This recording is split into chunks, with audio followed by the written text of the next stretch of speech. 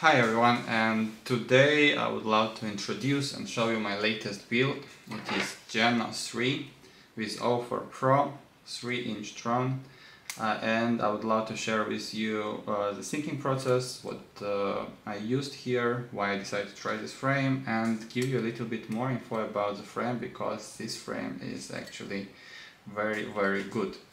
Uh, and let's start with it. Let's start with the frame. What you need to know about the frame. Yeah, I tried to show you from all the aspects. So here, how O4 Pro looks inside it. Yeah, so how in general it looks. As you see, it's unibody design. And let's start from the beginning. This frame is open source. It means that you can uh, easily buy it uh, from, uh, you can easily download any uh, files cut it yourself or find a CNC factory or whatever who can cut use a carbon and uh, yeah free, feel free to use. Then uh, because it's open source it's a little bit cheaper. For example I ordered this uh, frame here in Europe from drone uh, FPV racer. Very nice very good customer service uh, very very fast delivery. I got it within the day or something.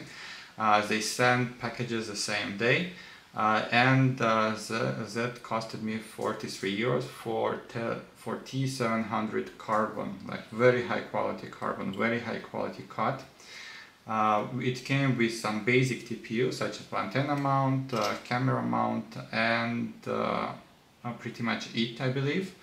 yeah, antenna, camera, and that's it. Yeah, and in addition, it came with this small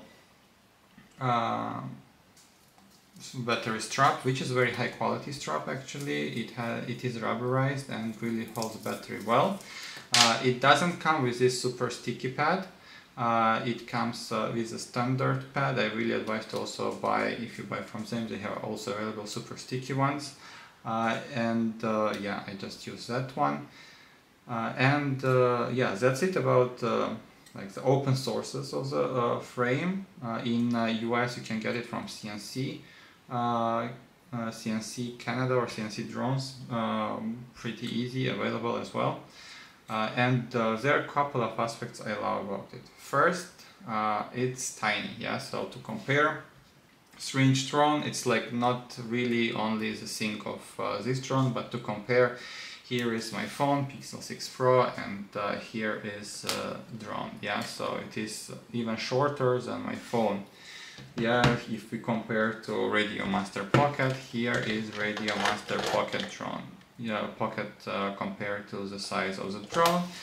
And uh, if you never flew 3 inch but you have 5 inch, here is comparison to my 5 inch drone, also is O4 Pro. Yeah, uh, if you get it here and uh,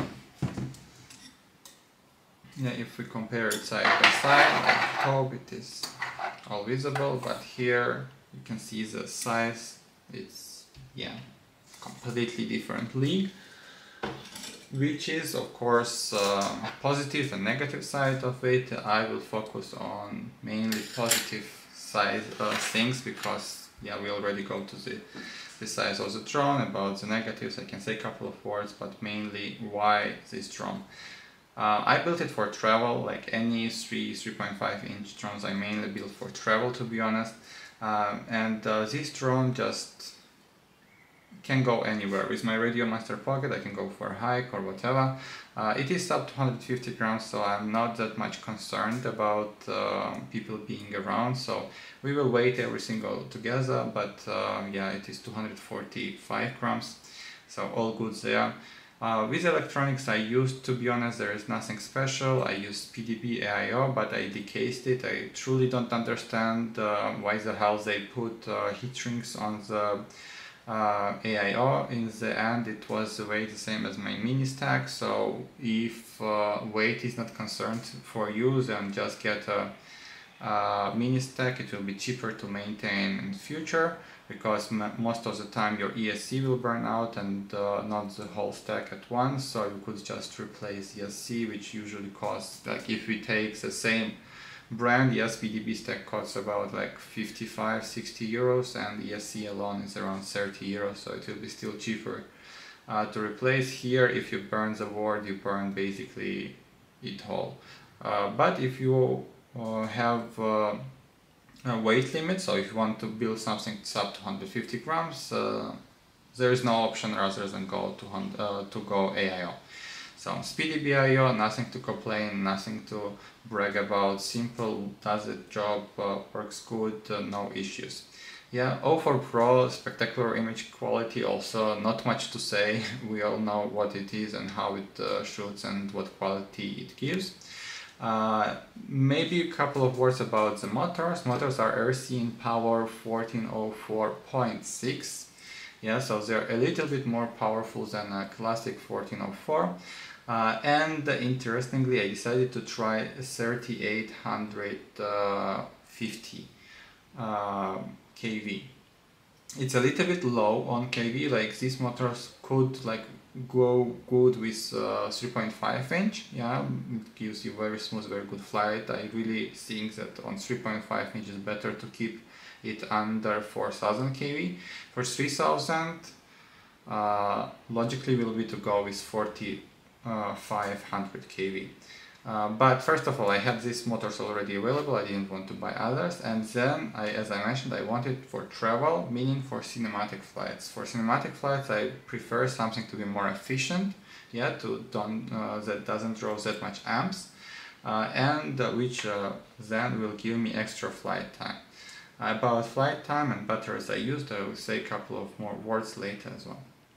Then, um, as I mentioned, what I love about this frame that you have very easy access uh, to all the electronics and your camera cage is separate from uh, the main board.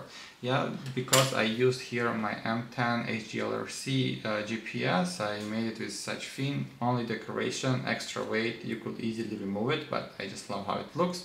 Gives me a little bit of uh, LiPo protection, but uh, that's a secondary on this drone. Uh, I just love how it looks with this one. Um, good location, locks satellites fairly fast, works fine, no issues. Again, nothing special, the same as with uh, receiver, ELRS 2.4, um, Happymodel EP1 I believe, uh, nothing special, yeah, covered here in TPU, holder, all good.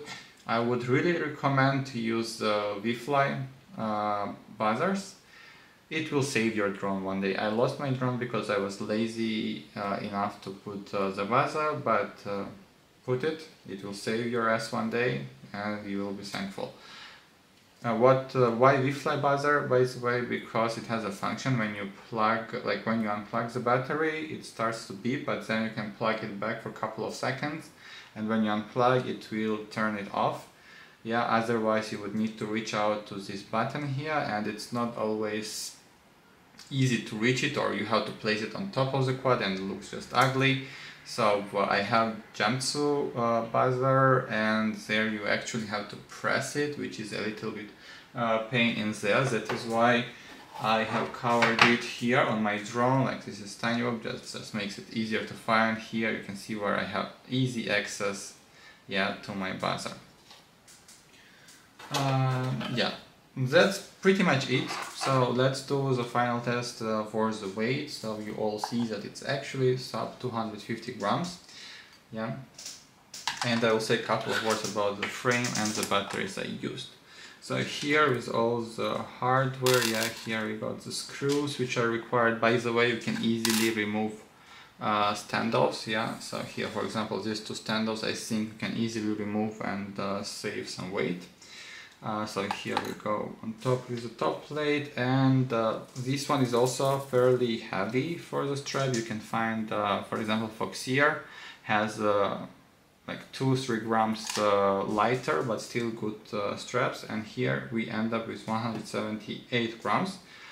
with this battery which is GNB 720 high voltage battery you get to 245 grams yeah which uh, gives you room for another five crumbs um, and what I would maybe go and I will try in the future it's uh, Tattu R-Line uh, 750 uh, which is not uh, high voltage. I to be honest don't like high voltage batteries because you get a lot of power in the beginning but then you feel the battery sag more. Uh, I prefer to be a classic 4.2 uh, like this one for example it's 850 Tattu line but this one is of course heavy but gives you way more time. Like you fly around 10 minutes with this uh, uh, battery. Uh, and last one which I already tried and used and it gave me more than 15 minutes. So I got 3 volts per cell uh, on this uh, battery pack which I did myself. It's 3S 18650 Li ion molybdenum cells uh, it's a little bit heavy, I could remove quite some grams from here, but uh, it ended up having 344 grams, so it's over 250 grams, but it's flyable. I tested, it's flyable. Cinematic fly, easy. What I am left to test is uh, this 4S 8650 Li ion pack. Yeah, with this we surely get quite heavy but also you get more KVs compared to this one. I actually want to test the drones, yeah, I probably use this drone to compare 4S versus 3S. At one point you get one more pack, so you get more uh, you get more uh, uh, capacity, but and uh, then you also can get more amps from here, yeah, more power because you get the higher KV, yeah, so KV basically how fast your prop is spinning depends on the voltage you supply. So with the 4S it will spin faster, with 3S it will spin slower. Yeah, uh, but at the same time this is heavier pack. Uh, which then also reduces how much power in the end like yeah what is the thrust to weight ratio so I'm really curious to check it out and see like which battery is more efficient uh, which is more stable to fly and just feels nicer uh, so stay tuned if you want to see a comparison of 4 versus 3 S pack. And uh, that's pretty much it. A couple of uh, other details which I think worth mention mentioning about this frame is that it's unibody, but don't be concerned that it's unibody. You won't break the, uh, the plate yeah so even if you're a beginner if you crash a lot uh, even to be honest in concrete I really don't see a scenario how hard you should put 250 gram uh, drone into the wall to break 4 millimeter arm. I mean first of all it is not a bando drone like I can say like if you want to fly nice bando get something other get more powerful first of all and maybe don't put 250 euro uh, worth uh, VTX in it, try something cheaper. Uh, I, for example, use for such purposes Caddx Vista, um, and it just works perfectly fine. But yeah, like as a travel drone, to sum up, it's one of the best options. Uh, this uh, Jeno, the Jeno frames, they have also 3-inch light version, which I'm really curious to see and maybe even go with the smaller motors uh, because light version is around 40 grams or like 42 grams 3 inch which uh, I think will be very interesting to see especially with uh, you know a little bit uh, smaller motors uh, um, and maybe even the Case 04 yeah will be interesting to see how it will fly and uh, yeah what will be the flight times. Let me know in the comments if you're interested to see uh, Case 04 Pro uh, together with a light version of this frame and uh, we will see. Uh, so that's basically it. So here's the final look O4 Pro, all the electronics, DJI O4 uh, Pro mounted here, secured, uh, motors, buzzer, everything you might need in the drone is here. So uh, now you will see some flight footage. I will attach of this drone, so enjoy it. And uh, leave a comments what do you think? If you already tried the Jeno frame, if you want to try the Jeno frame, what do you think about this build, yeah, let's bond a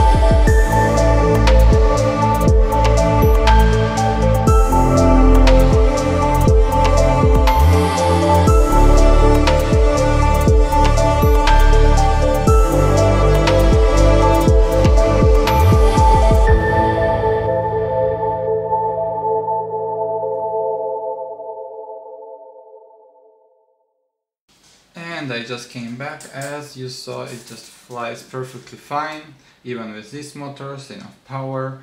Yeah this is how it looks all assembled and uh, with this uh, battery uh, on top. Yeah looks nice with ND filter of course because we fly cinematic uh, FPV here uh, with the antennas, what I love about this build also that it gives me quite some range, like I really mean this, it gives me a lot of range. I really love the configuration of antennas that way, yeah, so here, uh, first of all you can control it, you can also put them a little bit lower, like just push it through the TPU, but I really love um, how extended they are, of course when you fly away, yeah, you get a perfect signal, but also when you turn, there is nothing stopping the signal in front so you perfectly fine all the time no matter which direction you fly um, how high or low you fly you get the perfect perfect uh, connection with uh, your antennas and between your antennas and goggles. And uh, uh second thing is about the location of uh, your uh, ELRS like receiver antenna. Also one of the best locations is to put it up front why? Because when you fly away, your drone is in uh, this position, so uh, and you are somewhere here down, so you get a clear view, so you get a perfect uh, connection here. And when you turn back, yeah, so you're facing towards yourself, and again you get a, a, clear connection here. When you are here in the back, yeah, when you're flying away, you're good, but when you turn, the drone actually is against you, yeah, so uh, it will block some kind of uh, signal. Uh, what you can also find, you can find some prints where you can mount uh, antenna uh, vertically. I would use this uh, option if you fly uh, with diversity antennas. And to be honest, um, to be fair for the um, travels a little bit of the long range, I would advise to get uh, diversity antennas. And then you can mount them almost the same way, maybe one antenna up front here uh, yeah and one antenna like this or maybe then uh, the one antenna vertically you can uh, mount also somewhere here so you cover kind of the full spectrum. Uh, be aware with such orientation here you get no signal so when you fly uh, there might be the case when during the turn you can get a small RX loss for like a second or even so even might not even be like if you are quite close but let's say when you're far away. Yeah but other than that perfect orientation of antennas very secure I feel very safe flying this drone uh, that it won't uh, be lost uh, and that I won't lose the runtime with the signal and GPS just gives me a little bit more security just in case I get the RX loss that it won't just crash and usually just flies up and then I get my signal back. Uh, that was it. Hope you liked the build. Let me know if you plan to build the similar uh, drone. If you already have a syringe drone, um, how do you like it? Uh, what would you change in my build? Would you recommend to go to the higher motors or no? And uh, all in all, enjoy flying. Have a great rest of the summer. Ciao.